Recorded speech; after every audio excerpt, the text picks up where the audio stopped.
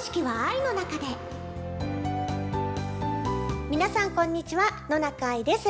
この番組は私野中愛がウェディングプランナーとなってエルブライトハウスからお届けする A&G ブライダルステーション。結婚式は愛の中でです。それでは早速ご紹介しましょう。先週に続いてお迎えするゲストはこの方です。皆さんこんにちは。サイレンジャーキです。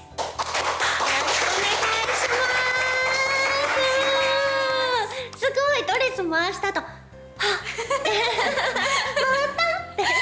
回せたと思って。すごい。すごいですね。ふわふわなんだなって。後ろもねすごい長かったよ。ねはい。これがね良かったです。ちゃんと回れて。綺麗に回ってた。あ見てました。あとすいません。前回と違って、グローブがショートグローブに、はい。ショートグローブにしてもらいました。なんか変わるだけでまた雰囲気が違くなりますね。そうですよね。うん。すごい。これも後ろにパールがついててちょっと透ける感じですごい素敵なものをつけさせてもらってます。ねえ可愛い。なんかドレッシーからちょっと可愛くまたなんか軽やかになった感じしますね。はい。キラキラしてて今週も可愛いです。ありがとうございます。よろしくお願いしまよろしすくお願いします。それでは始めましょう。サンセルモプレゼンツ結婚式は愛の中で本日も野中がご案内いたします。この番組は感動と感謝の思いをつなぐサンセルモの提供でお送りします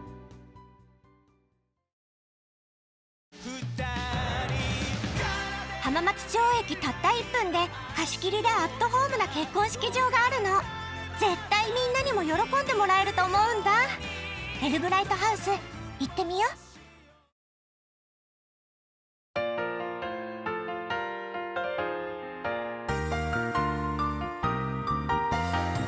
サンセルモプレゼンツ。結婚式は愛の中で。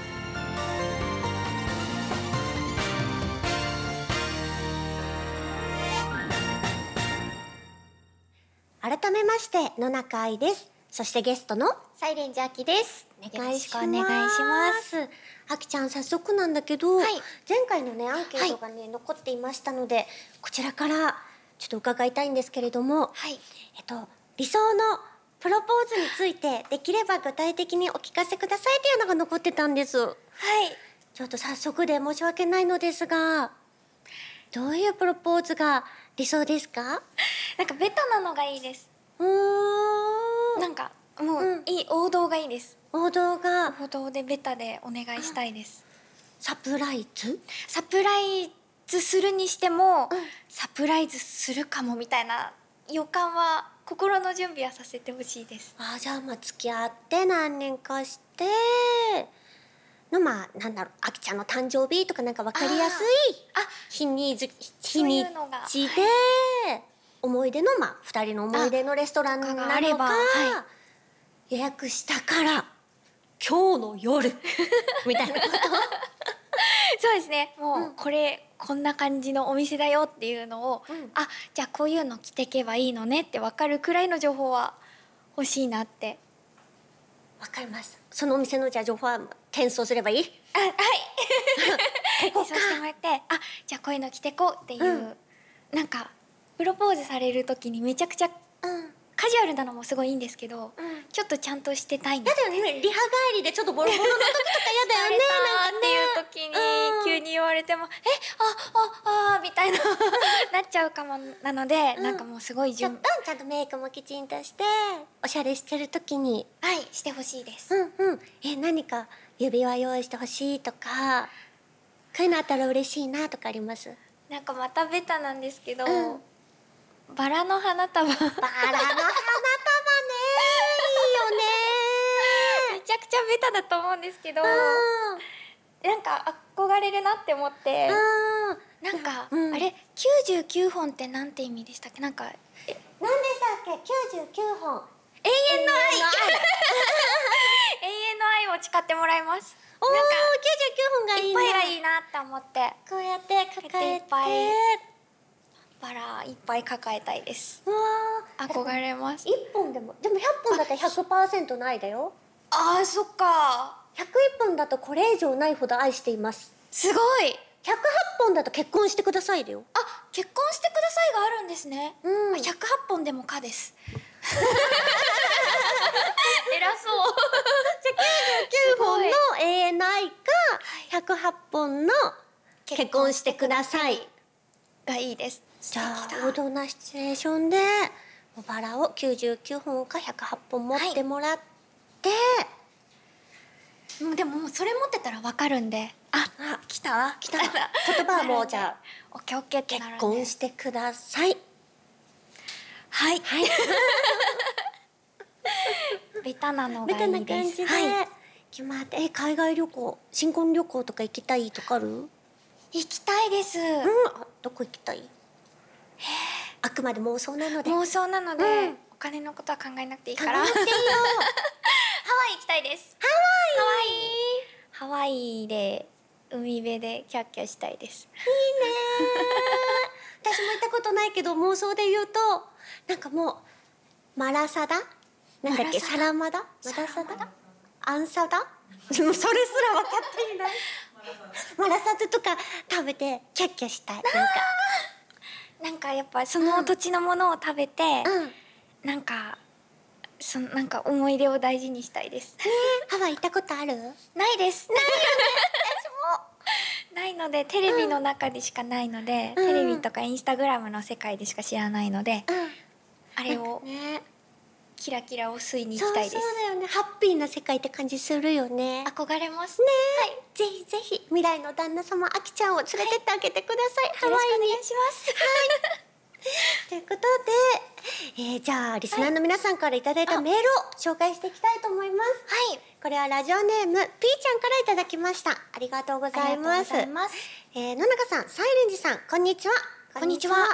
えーサイレンジさんがもし同性や結婚についてルールを決めるとしたらどんなルールを提示しますか？僕は先に家に帰った方が晩ご飯を作るというルールがあります。だからといってわざと遅く帰ることはお互いありません。なぜかというと先に帰った方が晩ご飯のメニューを好きに決めていいという意味でもあるからです。何より食べるのが好きな夫婦なので晩ご飯のメニューは命がけと言っても過言ではありません。さらにお互い料理好きなのもあって相手のメニューに文句がないところも平和な食卓の理由なのかもしれませんね。あその鶏肉チキン南蛮にしようと思ってたけど竜田揚げになったのか楽しみといった感じです。お二人はどうですか？ねすごい素敵なご夫婦ですね。え仲夫婦っ凄まじいてことですよね、うん。ねねすごいルール、うんルール。こういうルールがあるといいなとか。お料理が上手だったら、こういうルールにしたかったんですけど、うん。あんまり私得意じゃないので、えールールか。挨拶をちゃんとするがいい。当たり前ですけど。すごく当たり前ですけど「いってらっしゃい」と「おかえり」をちゃんと言いたいです、うん。言ってほしいし言言いたいなって思います。あー。誰かが人がいるって嬉しいよね。おかえりって言えるって。ね嬉しいなって。え。多分暮らしていくうちにさきっとね他人同士だからさきっとなんか自分は当たり前と思ってたことがさきっと違ったりしてくるよね。はい。きっとね。ご飯ルールすごい素敵だと思います。ねいいよね。先に帰った方がって、しかもそれで喧嘩にならないのがやっぱ相性がいいんですよね。すごいですよね、うん。なんか早く帰っても後に帰ってもこううん。どっちもウィンウィンな感じがうん。楽しめてるのが素いいよね。敵だなって、はい。あそうだねあきちゃんそうじゃん。日本刀好き。なんか包丁へのこだわりとかはないの？包丁。そうですね。日本刀屋さんで買った包丁を使っています、どんな包丁？あでもふ普通のって言ったらあれですけど普通のお料理の包丁なんですけど。やっぱ切れ味が違うの？切れ味いいです。あと多分あの研ぎ師さんに多分研いでもらえる。お願いするとみたいなのがありますあじゃあ自分で研がずに持ってって研いで研いいただでいたくみたいな。だきたりとかもするみたいです。わでもあんまり料理上手じゃないのであんまり 使いこなせてないんですけど。あでもやっぱそれトマトとか切るとやっぱ潰れずにスッといきます。スッといくはい。感じ、あーじゃあ料理上手なくてもそれで切っちゃえばなんかもうお野菜とかね成立しそうだなお魚とかもね、そんな感じです すごいやっぱ波紋とか見んの？包丁。包丁は入ってないのかな？波紋はそうですね。包丁は多分折り返してない鍛錬するときにパタパタ折ってそれがなんか模様になるんですけど多分それは包丁あんまりやってないなんかやってるのもあるかもしれないんですけどうんうんうん私のはやってないのでなんか包丁だって思って包丁だと思って。切ってます。そうなんだ。ありがとうございます。続いてラジオネームあの時の鶴さんです。あら。はいこんにちは。えー紙芝居師として 活動されているあきさんですが、はい。将来お子さんが生まれた時にえ読み聞かせをしてあげたい作品はありますか？また なんで笑ってるの？これちょっと分かんないけど、はい。えまた子供の頃に好きだった絵本なども聞いてみたいです僕はというとあ金魚が逃げたという絵本をずっと見ていたそうです。親が内容を丸暗記してしまうほどリピートしていたようです。笑いお二人はご存知でしょうか？めっちゃ読んでる。私も知ってます。読みました。なんか絵が可愛いんですよね。ねすごい。えうん何かありますか？私親がすごい、うん。あの本をいつも寝る前に読んでくれて、うん。よくおねだりしてたのは笠地蔵がすごい好きへでー。うんうんうんなんで好きだったのかわかんないんですけど、うん。なんか笠地蔵でなんかこうかぶせてあげるのが多分好きだったんじゃないかなみたいな。すごいリピートしてました。笠地蔵さんに傘をあげてあげてこうお礼をしてくれる宝物がいっぱいお家に届くみたいな。歩ってくるのが可愛いなって。へえ思ってたんだ。思ってた覚えがあります。はい。そうかそうか。紙芝居師としてもあそう活動されているんですかね。紙芝居師レンジャーとして、うん。たまに子供たちの前で紙芝居をやってます、紙芝居師ってこういうあ。なんかコツとかあったりするの？声優さんと違って。あなんかもうその場のノリなんです、うん。いかに子供たちを巻き込むかっていうのにエネルななのでなんかそのお話をきちんとやるっていうことよりも、うん。この場を盛り上げるみたいなうん。ことにすごい体力を使います。なんか学んだテクニックとかありますか？学んだテクニック？うん。コールレスポンスはやっぱ盛り上がる。盛り上がるコールスはやっぱ間違いなく盛り上がるしあの大抵子供たちは元気にやってくれるので、うん。後ろの方にいる大人も参加してくださいって言うと、うん。ちょっと「はは」って言いながらも、うん。皆さん参加してくださるのでさんお父さんも皆さん。話が進まないので、うん。参加しないとうん。してもらえるのがすごい楽しいし、うんコールレスポンスです。大人のねライブでもね、はい盛り上がるね。そうなんだ。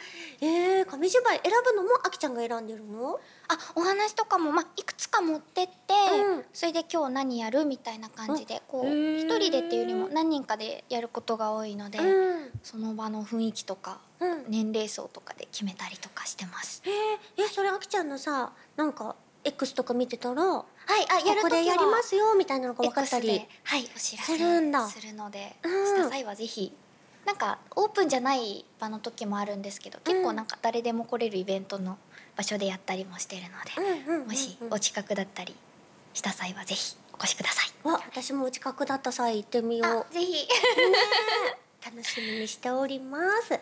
はい、ということでたくさんのメールありがとうございました。この後は番組コーナーにお付き合いいただきます。はい。君がいた日々の思い出は今もこの胸に思い出という絆は続いていく。株式会社サンセルモ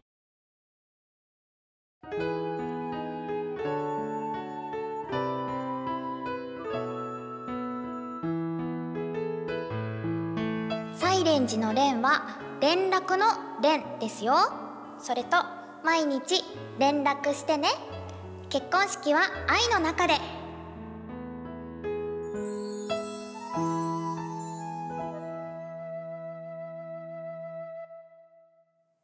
先ほどのジングルはラジオネームナオトさんからいただきました。ゲストの方に言っていただくスペシャルジングルでした。続いてはこちらのコーナーをお届けします。聞かせて理想の旦那様ランキング。ということでゲストのあきちゃんに答えてもらった理想の旦那様についてお話していきたいと思います。まずは作品の中の理想の旦那様ランキングです、はい。あ恥ずかしいんでしょ恥ずかしい。そうだよ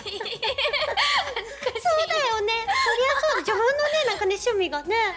そうですね。趣味が全開なので、ねはい。ね。よしよし、いいですか。参ります。お願いします第三位は。図書館戦争の道場教官です。はい教官選ばれた理由は？厳しくも優しいところがとても好きで、うん。強いところが好きです こんな理由でいいんですかねなんか、そういうなんか強いけど優しいみたいなギャップがある人とかが、あきちゃん好きなの？好きですうんもう図書館戦争はうん。小説が原作なんですけど、うん小説もアニメもうん。漫画もうん。実写映画もうん。全部好きでうん全部の道場教官が好きですそうなんだ。そっかそっか。じゃあこういう感じ 趣味で行くのかな？どうかな？第2位はゴールデンカムイの杉本彩一選ばれた理由は？はい彼もうんとても優しく、うん。とても強いよね。はい。本当に。あとうん。杉本杉本って呼んでるんですけど、すいません。あのすごいゴールデンカムイってすごいそのご飯を食べるシーンがいっぱいあって、うん。どれも美味しそうに食べてるのがすごいポイント高いなって思います。あ美味しそうに食べてる姿が。姿がその食べてる時のうん。可愛い可愛らしい雰囲気と戦ってる時のうん強いギャップがうん好きです、もうあきちゃんは結構食べる？男性というか食べる人の方が好き？あはいそうですね、うんいっぱい食べてほしいですうんうんうんうん。なるほど。じゃあ第1位いきますね。はい第1位はミッションインポッシブルシリーズのイーサンハント。はい 最後実写。実写ですトム・クルーズですト ム・クルーズ好きです。もうなんか優しそうだけどはい。強いですそうよね。なんです。彼も優しくて強いんです、ぶれないね。すごい。上げてみて思いました、ね。全員優しくて強い。うん。生き残る。感じがするね。はい。生き残るのがすごいポイント高いです、うん。最後まで寄り添ってくれそうだなって思って、なるほど。旦那様にしてもはい素敵だなって。はい、素敵だし生き残ってほしいし、もう強くあってほしいです。そ れしか言ってない。趣味が一貫してました。旦那様にね本当だねしたいランキ人って考ングが。えた時に。ねえ確かに生き残ってほしいもんね。はい。うん続いては未来の旦那様に求めることランキングですこちらこれ答え聞く前にプランナーの中予想してみたいと思いますって書いてあるんだけど、はい多分強くて優しい人だね そうなんです。強さと優しさって絶対出てくると思います強さという。はい。実際はどうかじゃああきちゃんに聞いてみたいと思います、第3位は？はい。なんかこの書いた時はご飯をちゃんと食べてくれる。おおやっぱりその食べないとうん。強くなれない。あそうですよので、ね、うん、ちゃんと食べてほしいです。食べ物からですよね。食べ物から体はできてるのでそうですよね。そうですね。すごいちゃんとした体を作るために、うん。きちんとうん。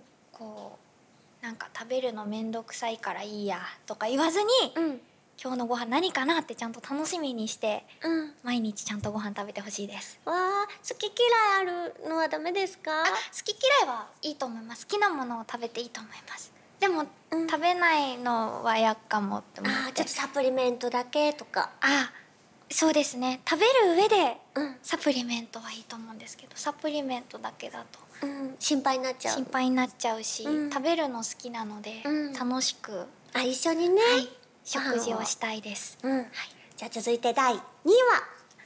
映画を一緒に見てくれるです。おー映画。はい。うん、映画鑑賞好きですか？映画鑑賞好きです。うん。なのでなんか一緒に行ってなんか結構映画館マナーみたいな論争あるじゃないですか。ここのやつが光ってるとか携帯いじるとうんかをしない人がいいですうんあれはポップコーンは？あポップコーンはすいません食べます。食べます。だ結構高頻度で食べます。ポップコーンと飲み物をかいいシーンでさ噛むのむずちょっとひ気引けない？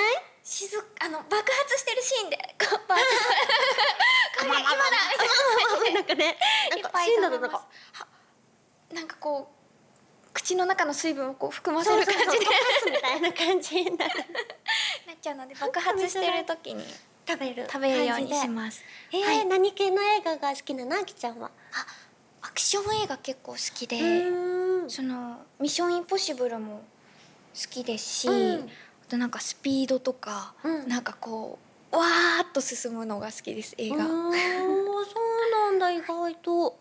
楽しいです、うん。あじゃあそういう時だったら食べれるね。そうですね。そういう映画。怒られないと思いえー、ます、じゃあオリンピック楽しかったねあ楽トム・クルーズ出てきたよね。出てきました。すごいと思って。ね。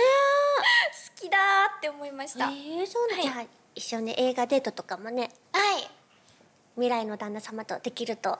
したいです。ねいいですね、そっかそっか。じゃあ第1位は？第1位がうん。温厚でちゃんと言葉で伝えてくれる。うんうん。っていうことです、これは優しさですね。うん優しさだ。あありがとう。優しさ優しさ。だねありがとう。はい。すごい大正解です。恥ずかしい。バレバレだ。ありがとう。結びつけてくれてありがとう。なんかこれアンケート答えてみて、うん。思い浮かぶ人物がいて誰？お父さんだと思ってお父さんと思って、なんかご飯もお父さんしっかり食べてる？食べるし、うん。なんか自分が食べる時秋も食べるとか言って誘ってくれます。作れないんでなんか冷凍食品とか温めるだけなのに呼んで、うん。どっち食べるとかやってくれるんで、うん。一緒に食べてくれます。嬉しいよね。はい。なんかねちょっとしたことだけどしょねうがないなみたいな感じで。一緒に食べます。お父さんと映画もお父さんがもともと映画すごい好きで、うん。アクション映画とか。アクション映画とかうん。家にいっぱいあります、あそうなんだ、あとお父さんはちゃんと言葉で伝えてくれますか、はい、うん。穏やかです。あそうか穏やかな人なので、うん。すごいこれを答えてからお父さんが浮かんでる。お父さんも嬉しいだろうね思いましたお父さん大好きです父さんにも似たこのランキングのはいような未来の旦那様がね、はいい、らっしゃるといいよね いるかな はい、とのことです。アンケートは以上になります。ありがとうございました。そして残念ながら、あきちゃんとはそろそろお別れの時間となってしまいました。まずはお知らせをお願いします。はい、えーお仕事のお知らせは主に X でお知らせをしております。X と Instagram とあと YouTube チャンネルをやってるのでぜひフォローをお願いします。はい、紙芝居のこともね。はい紙芝居のこともね X なのでうん。お知らせしますので、ぜひはい皆さんよろしくお願いしますはい、ぜひチェックされてください。そしてここで番組からプレゼントのお知らせです。アイナカフォローリポストキャンペーンを実施します。ご応募いただいた方の中から抽選で1名様に今回のゲスト、あきちゃんのサイン色紙をプレゼント。応募方法ですが、アイナカ公式 X をフォローしていただき、フォローリポストキャンペーンのポストをリポストしてください。詳しくはこの放送後、番組公式 X にてお知らせします。応募の締め切りは11月15日金曜日23時59分です。皆さんこの機会をお見逃しなく。ということで2週続けてご出演いただきましたが、いかがでしたか？もうすごい楽しかったです こんなに素敵なドレスも着させていただいて、本当になんかなんて楽しい番組なんだと 思いましたすごい素敵な式場にも来れて楽しかったです、はい、よかった。私もなんか、あきちゃんの魅力を少しでも皆さんにお伝えできたらいいなと思って、優しい きっとたくさん伝わったかなと思いますあ。りがとうございますあ、可愛いハート。ハートありがとうございました。ご覧いただいて。ということでまた今度もまたお色直しとかしてぜひまた番組にも遊びにいらっしゃってください。ぜひよろしくお願いしますはいということでゲストのサイレンジアキさんでした。ありがとうございました。ありがとうございました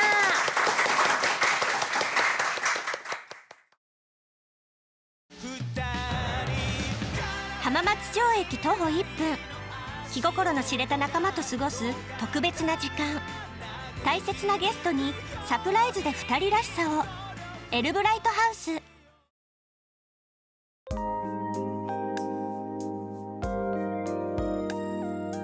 サンセルモプレゼンツ。結婚式は愛の中で。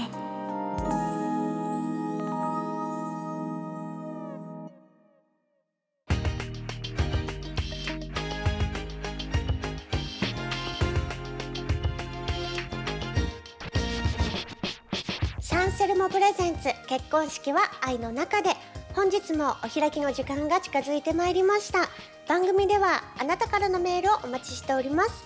メールアドレスはあいなかアットマーク JOQR.net あいなかをローマ字にしてください。番組公式 X とインスタグラムもぜひチェックしてください。アカウントはどちらもウェディングアンダーバーあいなかです。そしてこの番組は放送終了後に YouTube の文化放送 A&G チャンネルにてアーカイブを配信しております。過去の放送も見られますのでチェックしてみてください。それではここでエルブライトハウスからのお知らせです。エルブライトハウスでは11月16日土曜日にブライダルフェアを開催予定です。2日前までに事前にご予約をいただいた方には試食付き見学会を無料でご案内しております。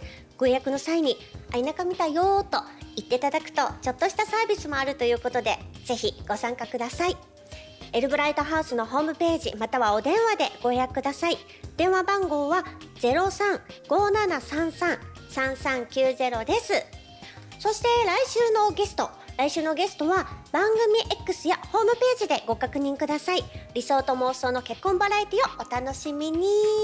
ということで第293回目の放送でしたがあきちゃん可愛かったですね。やっぱあの理想の旦那様のキャラクターのところってやっぱちょっと恥ずかしいものなんですかね。